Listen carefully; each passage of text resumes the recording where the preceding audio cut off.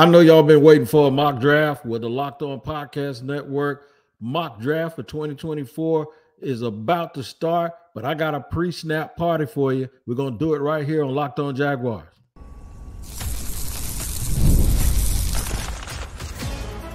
You are Locked On Jaguars, your daily Jacksonville Jaguars podcast. Part of the Locked On Podcast Network, your team every day. That's right. Ain't nothing but a party, y'all. It is a pre mock draft, pre snap thingamajigger right here on Locked On Jaguars. I'm Tony Wiggins, the host of the Locked On Jaguars podcast. We're at your team every day. We always thank you for make, making us your first listen. Look, man, we got it going on. The mock draft is going to start here for the Locked On Podcast Network very, very shortly. I wanted to give you a little pregame, a little pre snap, though, as to what you're going to see. You're going to see us hopefully make a pick at 17 or before. I'm not going to tell you whether or not it's going to happen, but hopefully we'll be able to get our pick in at 17 or before. The thought of moving back does that enter the equation? If the mock draft goes the way that I think it's going to go, there's a good chance that the Jacksonville Jaguars will get the 17th pick and have a chance to move back to get extra draft capital. What are the main needs for this football team? Well, we know that they have a lot of needs. The main thing I, I, think they have to do is what they have done over the last three years at least. That is, they have to get a really, really good football player in round one. They've managed to do that with Travis Etienne and Trevor Lawrence the first year, Travon Walker the year after that, and Anton Harrison last year, offensive tackle out of Oklahoma. So they do have a track record of getting someone early that this football team needs and that ended up having an impact. And so to me, to, to line draft need up with impact player and with impact player at a position of need and a position of value, I think is very, very critical and very, very important.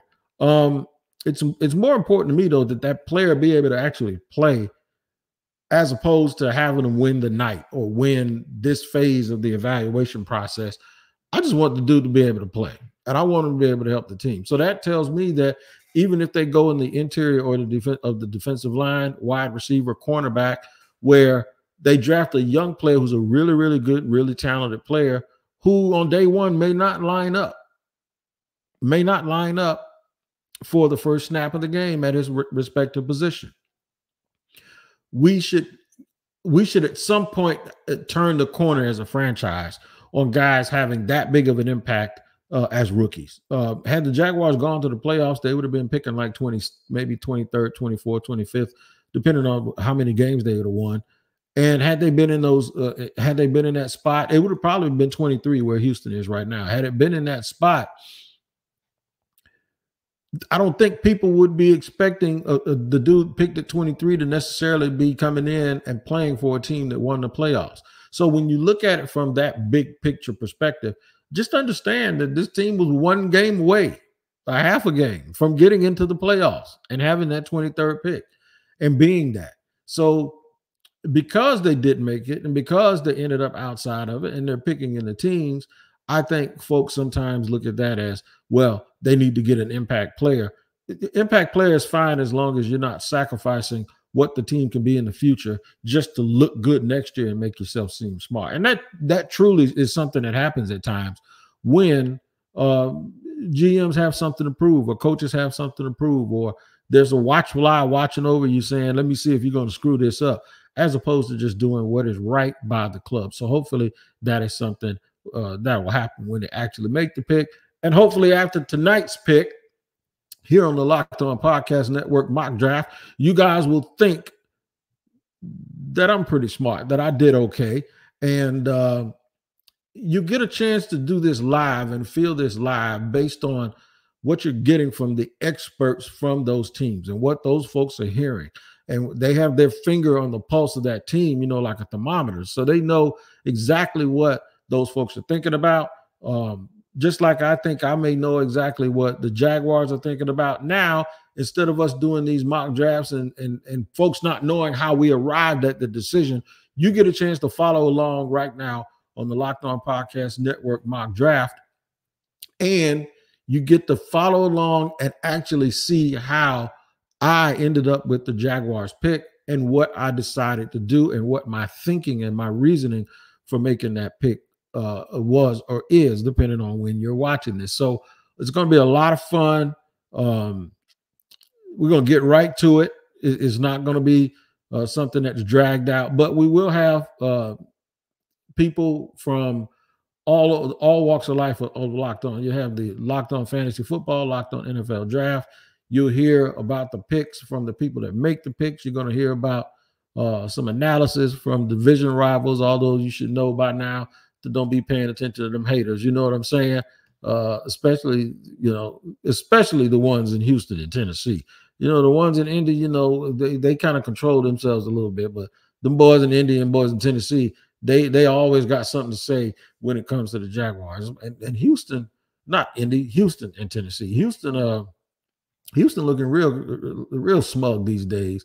Uh, you know, we we might have to knock them back down a notch because they seem they seem to think that everybody around it, uh, you know, the league is scared of them right now. So, um, yeah, lots of good stuff, man, uh, for this. And the thing is, is what I enjoy about it more than anything is you get a chance to see the ebb and the flow of the actual draft and how folks usually end up where they end up. And it's, I'm, I'm telling you, I'm telling you, you want to pull your hair out when you're actually doing these drafts. You really, really, really want to pull your hair out when you when you're actually doing it because sometimes you end up doing something that you really, really don't want to do, but the situation calls for it having to be done. And hopefully you guys will absolutely see exactly what I'm talking about. Um moving up or moving back. When when we get to that point in the draft, I want you to take inventory of what is gone and what is still there. And therefore you'll know probably before I even whether I make the pick or not, you'll know what my intention is, whether it's moving uh, up or moving back who do I watch? Is there somebody in front of me that I'm watching?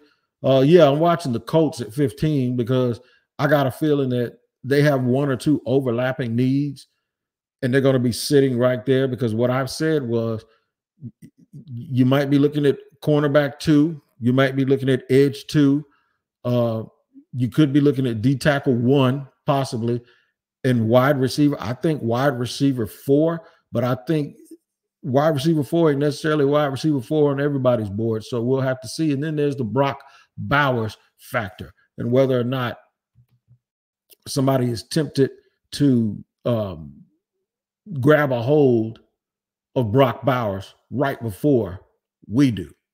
That is, and when I say we, I mean the Jacksonville Jaguars. So a lot of things to look forward to, a whole lot of stuff to look forward to.